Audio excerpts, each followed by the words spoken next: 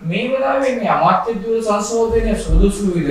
ඇත්තටම රටේ ඇති වෙලා තියෙන ජනතාවගේ අසහනය ජනතාවගේ ඇති වෙලා තියෙන දරුව පාසල් යවා ගන්න බැරුව ජනතාවට ඇති වෙලා තියෙන වේදනාව රෝගීන් ට බේත් කරගන්න බැරුව රෝගීන් මර්ධනය කරගන්න බැරුව ජනතාවට ඇතිලා තියෙන අසහනය හිටපු ඇමතිවරුන් පිට ඇවීම තමයි මේකේ අරමුණ. හැබැයි මේ වගකීම තියෙන්නේ හිටපු ඇමතිවරු නෙවෙයි.